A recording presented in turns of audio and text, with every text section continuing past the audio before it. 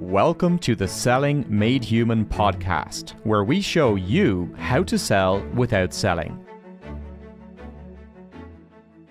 In this episode, I'm going to show you how to reveal the hidden, invisible leads in your market and turn them into prospects and customers, while all of your competition is busy fighting over the visible leads in your market, established market demand. So, in today's episode, we are going to make the invisible visible and we are going to create new market demand. If you've already watched a few episodes of Selling Made Human, you will know that selling is all about connecting with real people. And likely your business is experiencing the connection gap. There is a gap between you and your potential customers. Maybe you don't know how to reach them, where to reach them. Maybe you don't know what to say to those customers, those potential customers.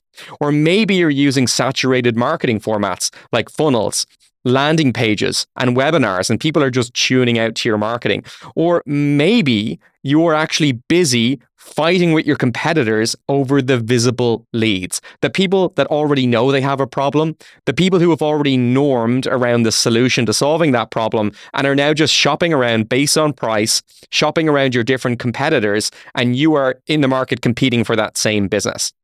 So, likely, these are some of the symptoms that are keeping you stuck, that are preventing you from growing your business. So, if you want to uplevel your marketing strategy, if you want to do some deep work on your marketing strategy that really feels good, that feels educational, that involves shifting beliefs, you're really going to love this episode. We're going to go quite deep and we're going to talk about how you can unmask and reveal the invisible leads in your market and create new demand that just hasn't existed before on the market. And this is great because you're not going to compete with everyone else that is fighting over the established demands and the leads and prospects that are already that are already visible.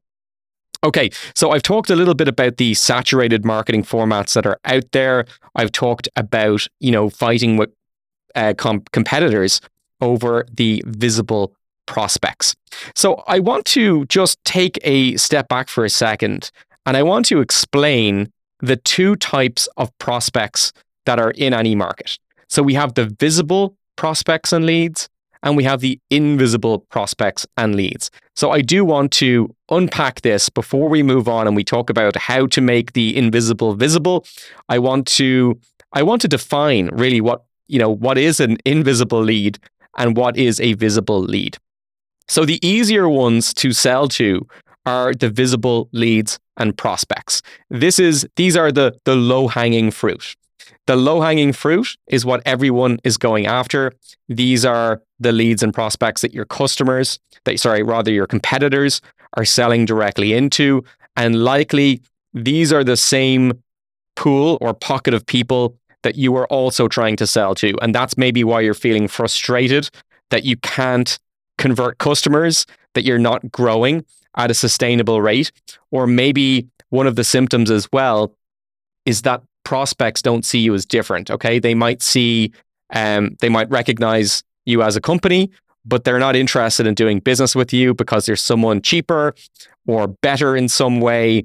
And your business just doesn't really stand, doesn't really stand out. Okay.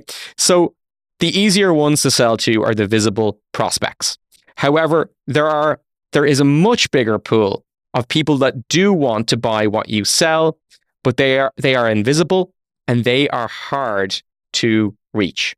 And they're hard to reach because the problem that they have, they don't really understand their problem very well. So they're kind of somewhat problem aware, but they're not as problem aware as the visible prospects. The people that know they have a problem, that have already performed research on Google on what the, va- the available solutions are to solving that problem and are already talking to your competitors. They're already on their email lists, clicking their ads, attending their webinars, and they're in their funnel. Okay. So when you come along, you just are another business, another competitor really that can be thrown into the mix. So this much bigger pool of people that is the big opportunity that are invisible and hard to reach they're hard to reach because they haven't really matured yet. in their thinking. Okay. So they know they have a problem at some level, but they haven't really set out to solve that problem yet. They haven't conducted problem research. They haven't consumed content that helps them define their problem. And they haven't actually researched available solutions to this problem yet. And the people, when you think about it, the visible demand that is on the marketplace, they're a much smaller group of people who have matured in their thinking, who have become problem aware, research their problem, understand their problem more, and are now solution aware. So they now know the available options for solving that problem, the various companies in that space, the features and benefits, the price points, all of those things. Okay. And these are people who have just matured out of the very big pool of people in general that have this problem. So trying to sell to the people who are visible and know they have the problem and know the ways of solving that problem, yes, in some ways it is easier because they're almost like ready to buy. But because they're so aware of the problem that they have and the solutions that are available, it is also the most competitive. So, in a way, these people are ready to buy, but everyone is trying to sell to them. Okay. So, it makes the situation much, much more competitive. It is also the smaller of the two pools. Okay. So the big pool is the people in general that have the problem and the, you know, the invisible prospects. And the visible prospects are the much smaller pool, as I've said, of the people who are maturing from the big pool into the small pool, who are problem aware and solution aware. So, how do we fix this? How do we appeal to the bigger pool? And how do we kind of go in and tap into that big pool and access it and manufacture and create and generate new demand that does not exist on the marketplace currently? How do we create demand for our offer and for our business so that those people mature and become problem aware and solution aware in a way that we actually control by controlling the dialogue and the narrative in a very ethical way, I might add. So I'm going to talk about that a little bit later um, in, in this episode.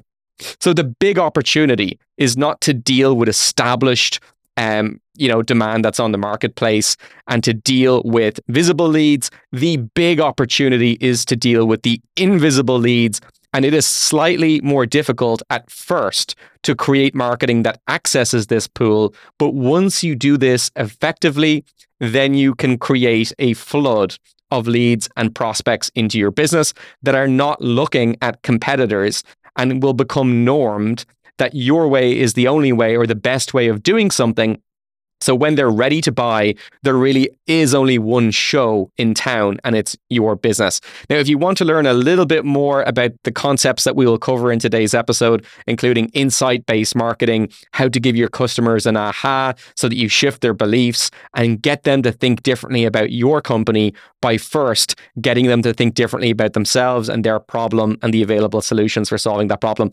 I shot a whole episode on insight based marketing and how to give your customers an aha So I would check that out on YouTube as well, where we go super uh, deep into that. Okay, so let's tap into this bigger opportunity and create demand. So I'm going to give you a little synopsis of the AHA or insight. I'm not going to repeat everything that I did in that episode because it was like 30 minutes just on the topic of creating an AHA or an insight.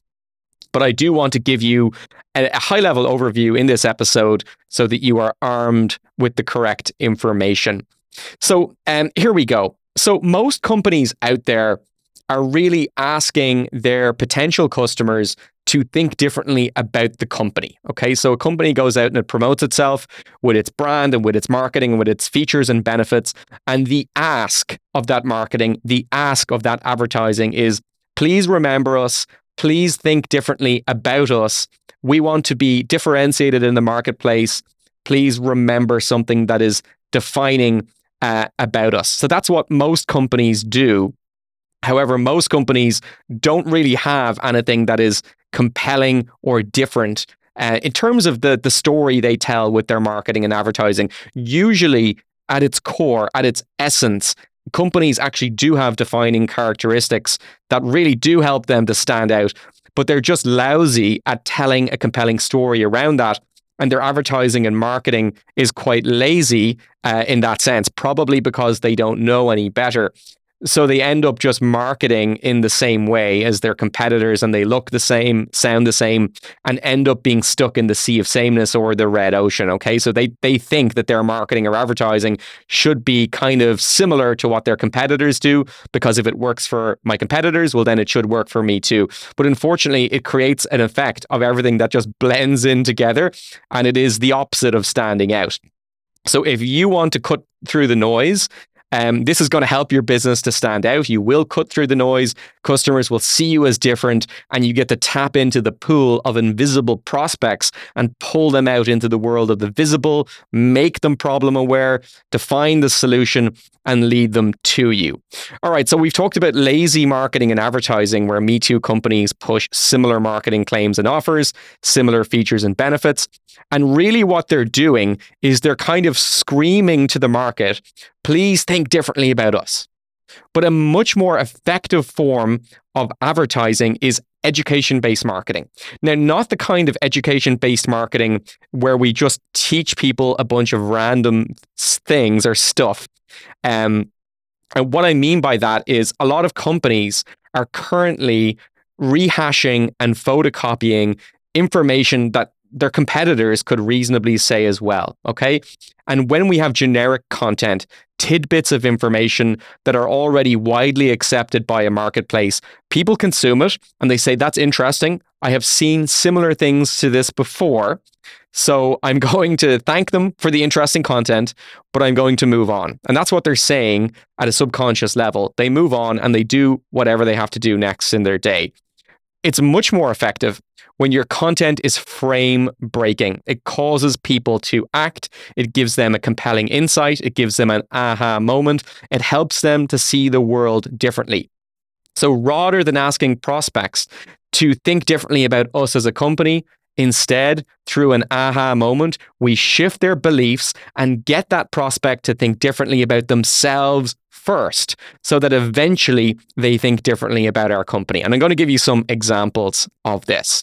So, the best way to do this is to really call out the customer's A frame or the status quo that the customer is currently stuck in.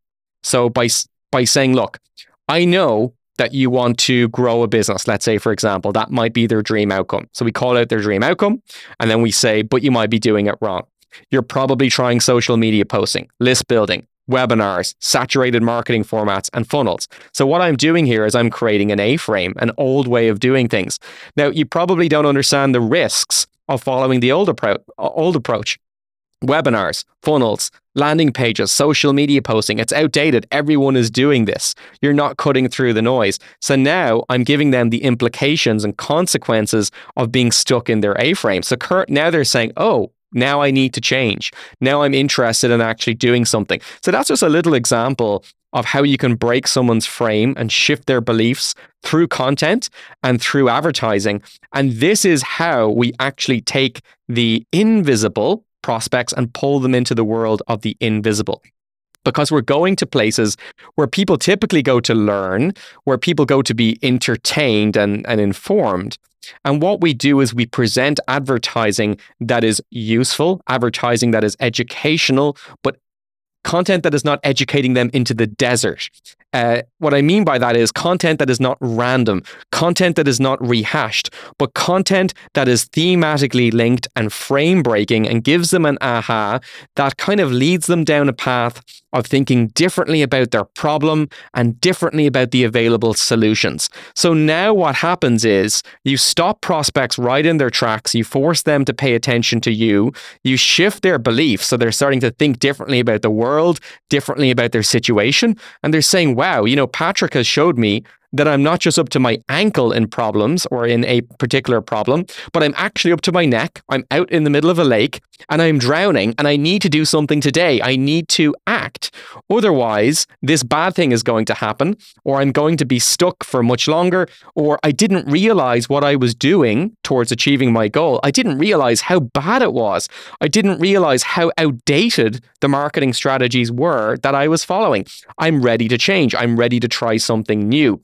So that's the kind of content that is jarring and frame breaking and gets people to act. So, this is an amazing opportunity to market in this way so that we can take the prospects on the market who are invisible and really compel them to act to become visible all of your competitors right now are likely marketing to the visible people in the market. They are not creating new market demand. They are not manufacturing demand. They're just happy to deal with what is called established demand.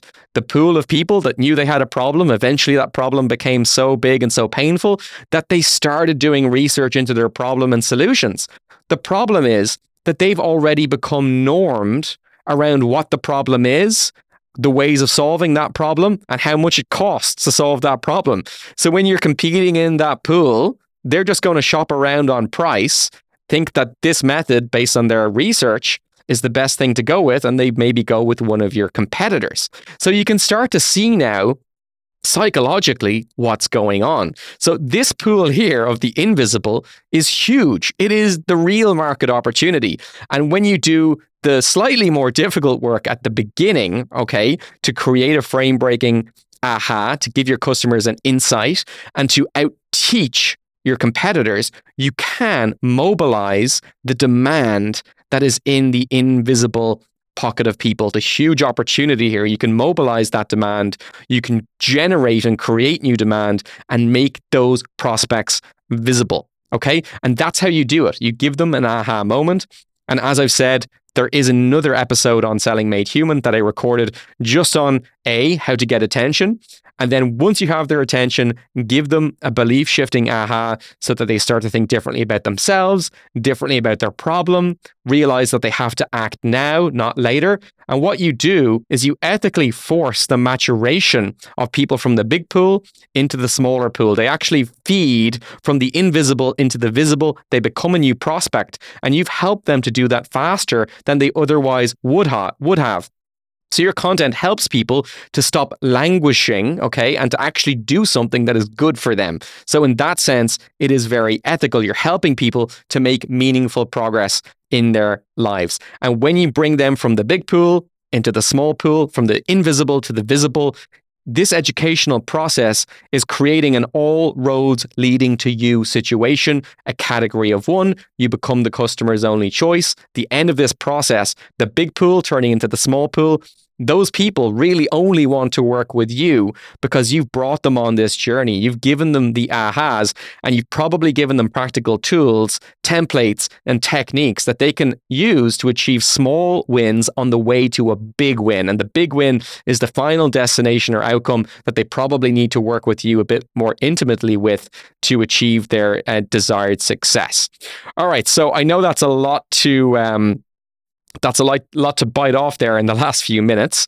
And the question then begs once you have given them an aha or, or insight, or once you have designed your aha or insight, how do you actually get this in, in front of people? Okay. So, what we need to do is kind of pretend that we are a detective. Okay. So, um, sit down, imagine you as a detective, and you're trying to think like those invisible prospects the people who have not Googled their problem yet, the people who are unaware of the available solutions and the competitors that are in that market.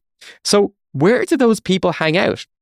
The people who are not yet solution or problem aware, where do they hang out on the internet? What do they read? What kind of publications? What are they likely doing in their world? What are they doing in their life before they realize the need to hire someone in this space? Where are they one step ahead of getting into this problem land? Where do they typically look for information? Who is who already has them in an audience or a list? Who are the thought leaders in a given market that are kind of one step ahead of you or one step before you before they realize they have a problem. So I would think about some of these questions. I would think about the language that this market use and how you are going to present this in your communication so that you can actually tap into their secret desires and enter into the conversation that the prospect is already having in their mind. Lots of people are already having a conversation in their mind about something that is not right in their life or in their business. And if you can enter into that conversation You can tap into the invisible prospects with an aha, with an insight. You can compel them to act where they're like, wow, now is a good time to do this. This is frame breaking. I want to move forward. Wow, this looks like a much better way of doing things. I didn't realize I was doing things in such an old and outdated way. Let me try a few of the things that this person is talking about. Oh, wow, these things are starting to work for me. I now have belief that this is the new way and the old way is this dogma.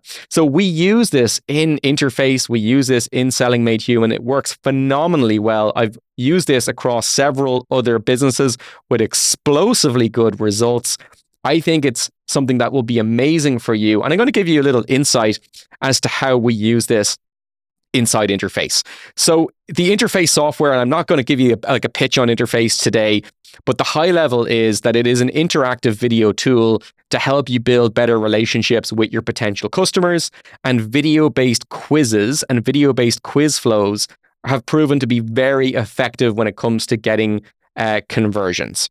Now, if we were to sell only to the visible leads and prospects in our market, we would have about 90% less revenue in our business, and they will be people that are comparing us to all of our competitors. So, a great example of this is the Google search campaigns that we run. Okay, so we have certain keywords like quiz funnel, video quiz funnel, and those leads actually do convert very well for us, but there are only so many people that go to Google and type in quiz funnel, and there are fewer that type in video video quiz funnel. And we run ads against these keywords, and we do get leads and we get customers every week from using those keywords, but not at a very high volume, okay? Because they are the people who realize that they have a, a, problem. They have done research already and they have decided that a quiz funnel is the best way to solve that problem. And it's not a bad way to solve a problem of getting more leads and clients, but they've already made that decision. They are already looking at our competitors, okay? They already know our competitors' prices and features. So they're kind of doing a kind of a, you know, what they think is an apples to apples comparison with our software. Now, we do have some other very powerful marketing strategies that I'm going to detail in another episode that helps us to take people who are in the established demand, visible leads, and how to really show them that you are not an apples to apples comparison and how to make yourself an orange when they're when your competitors are maybe an apple. So a very unfair comparison so that you know you can rise and shine above everyone else. But that's for a different episode.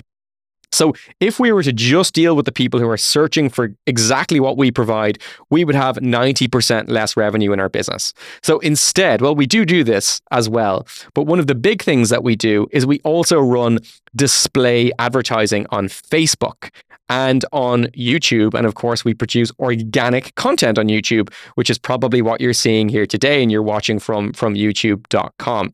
So with Facebook, ads and with YouTube ads, what we do is we show the interface video quiz flow functionality. We show how it works. We show why it's a big opportunity. We show how it's different. We show how it addresses the issue of saturated marketing formats like webinars and landing pages and all of these things that are really kind of antiquated and are not working. And we show you why not being the face of your business is damaging and why recording yourself and putting yourself into interactive video can help you build a lot of trust and rapport and connection with your potential customers. So, what happens is these ads go in front of people who never considered using a video quiz funnel software or even a quiz funnel and who have never typed anything like that into Google at all. But likely in their minds, they've been thinking about ways of improving their lead generation, of getting more clients, and overall improving their marketing. So, what we are doing with this advertising is we are entering into the conversation that is already happening in the prospect's mind. And what we're doing is using an aha or an insight inside the ad to reframe their beliefs, to call out the A frame as, hey, are you still follow- following saturated marketing formats? Are you still hiding behind your business? instead of actually creating connection and trust and putting yourself out there. And then they realize through the advertising, which is useful, hey, I'm not up to my ankle. I'm really up to my neck. I'm out in the lake and I'm drowning. I need to try something new. This company has educated me. Maybe a video based quiz funnel so that I can build trust and rapport is an amazing opportunity to build my list and create clients. I've never thought of this before, but maybe I should give it a try. So that's how we are accessing invisible leads. We're going into the invisible world, the big, big pool, and we're making them visible. And that's how we are creating most of our revenue inside Interface. And you can do exactly the same inside your business. So leave a comment below. Let me know what you thought of this and make sure to check out sellingmadehuman.com where I have a free course that shows you how to do exactly what I've just discussed in today's episode. We also give you not only a course, but we have a community, we have live events, and we have a weekly newsletter so that you don't miss out on great strategies like this one today. And on sellingmadehuman.com, you can also follow us on social for extra tips, strategies, and tactics. I hope this was useful. Leave a comment below on YouTube. I do read and reply to all of the comments. I hope this is useful, and I'll see you soon.